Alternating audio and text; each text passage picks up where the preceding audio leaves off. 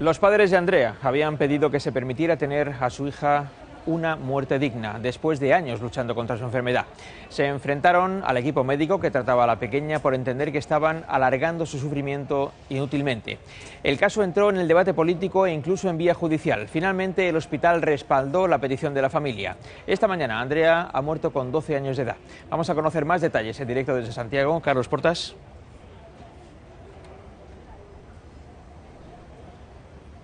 Sabíamos el pasado lunes que el desenlace de Andrea era cuestión de días y se ha producido esta misma mañana. Desde el lunes eh, conocíamos que su estado de salud había empeorado y por ello los médicos habían cambiado de posición. Fue en ese momento a petición de la familia y con mediación de un juez que se eh, suspendió ese tratamiento, esa sonda gástrica y comenzaba el proceso de sedación. En un comunicado emitido hace escasos minutos, la familia de Andrea dice que la niña se ha ido en paz y con tranquilidad y piden también en estos momentos despedirla en la más estricta intimidad.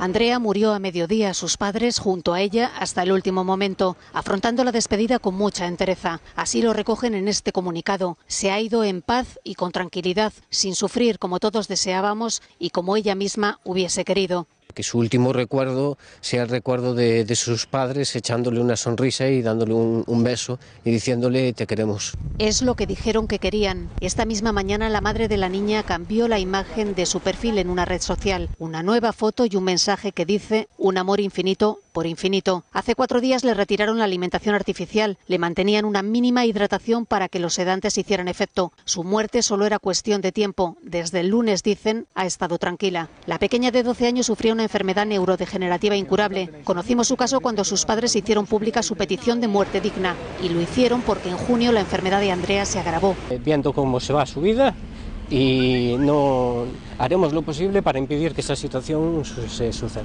En un principio el hospital se negó a esa petición. Llevaron el caso al juzgado y finalmente el servicio de pediatría accedió. Argumentaron que la pequeña había empeorado y ahora ya sí se le podía retirar la alimentación artificial. Ponerle punto y final eh, con todo el dolor de nuestra alma. Ha tenido una muerte más dulce, creen sus padres, que la vida que le tocó vivir.